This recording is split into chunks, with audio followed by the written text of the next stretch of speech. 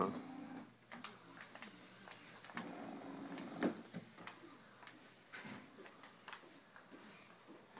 I'm gonna try to get the five